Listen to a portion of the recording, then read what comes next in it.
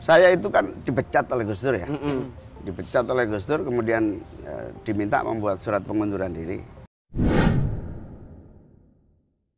Cawapres nomor urut 1, Muhaimin Iskandar atau Cak Imin, dilaporkan ke Bawaslu terkait dugaan mengajak memilih pada saat pengundian nomor urut di KPU, beberapa waktu lalu. Waketum PKB, Jazilul Fawait menganggap laporan terhadap Cak Imin itu salah alamat. Itu aduan salah alamat tapi silahkan saja, sekalian adukan KPU dan Bawaslu. Kenapa KPU memberikan waktu untuk sambutan, dan Bawaslu juga? Tidak menegurnya, kata Jazilul kepada wartawan, Jumat, 17 November 2023. Jazilul menganggap, pelaporan itu bertujuan menyudutkan salah satu kandidat. Dia menyinggung saat itu semua paslon berfoto dengan menunjukkan nomor urut masing-masing. Aduan ini motifnya ingin menyudutkan salah satu paslon dan cari sensasi saja. Sebab semua paslon berkampanye dengan menunjukkan foto dengan nomor urut masing.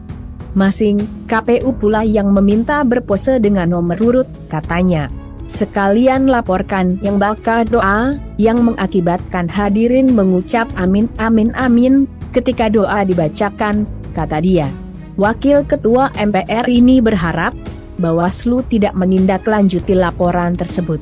Saya harap Bawaslu tidak memperpanjang laporan ini, karena hanya ingin cari sensasi, dan menyudutkan pasangan tertentu, apalagi soal pantun, pantun itu metafora, kata Jazilul. Diketahui, Cawapres nomor urut 1, Muhaimin Iskandar atau Cak Imin, dilaporkan ke Bawaslu oleh advokat pengawal demokrasi. Cak Imin dilaporkan terkait dugaan ucapan mengajak memilih pada saat pengundian nomor urut di KPU beberapa waktu lalu. Seharusnya paslon nomor satu jangan mengutarakan pilih nomor satu, karena dengan mengutarakan nomor satu telah melanggar aturan-aturan kampanye di masa sosialisasi, di mana di dalam penyampaian nomor urut satu itu, mengajak untuk dirinya menyampaikan visi misi dan menyampaikan citranya, kata Rahman Syah di Bawaslu, Jumat, 17 November 2023. Rahman Syah berharap, Bawaslu dapat memberi teguran kepada peserta pemilu, untuk tidak berkampanye di luar jadwal. Sebagai informasi, kampanye baru akan dimulai pada 28 November 2023. Harapannya kita selaku advokat pengawal demokrasi, agar dapat ditemukan bukti, agar ke depannya sesuai dengan aturan tidak terjadi lagi hal tersebut. Sehingga masyarakat bisa lebih kondusif, bisa lebih mengerti akan proses dalam pesta demokrasi, tuturnya. Kemudian, advokat lain juga turut melaporkan Cak Imin ke Bawaslu. Dia menilai, pidato yang disampaikan Cak Imin bermakna untuk menggiring opini publik agar memilih nomor urut 1.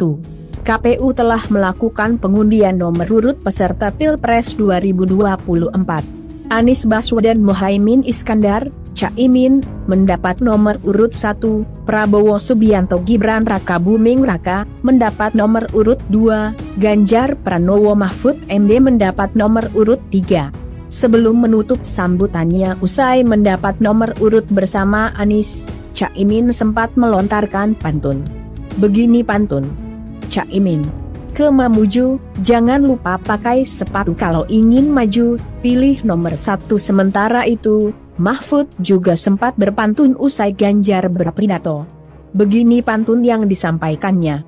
Hukum yang tegak harapan kita sejahtera, merata idaman bersama, Ganjar Mahfud pilihan kita, gotong royong pilih nomor tiga.